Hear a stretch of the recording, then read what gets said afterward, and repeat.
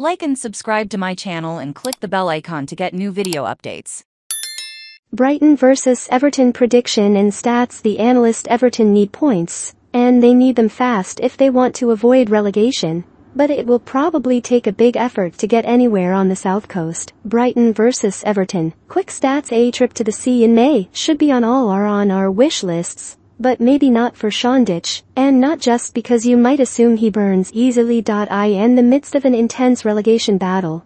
The last thing a struggling team really wants is a long journey to fight one of teams competing, the hardest to get points in the Premier League. Roberto De Zerbi has the Seagulls play some of the best footballers in England, and that was evident when they beat Everton 4-1 at Goodison Park in January. Thursday's 1-0 win over Manchester United was De Zerbi's 12th Premier League win as Brighton manager in just his 26th game, winning as many as his predecessor Graham Potter all of last season. Brighton are aiming for the double against the Toffees for the first time, and it bodes well that they have won five of their seven Premier League games against sides in the relegation zone this season. In fact, they have scored seven goals in their last two Premier League games against Everton, just one short of the top nine against them in the competition. That was crucial Everton avoided defeat at Leicester City last time out, as they lost a 2-2 draw, but they need more points. If they are to go on for two straight seasons, where they escape relegation, Everton 1-4 Brighton, 3 January 2023,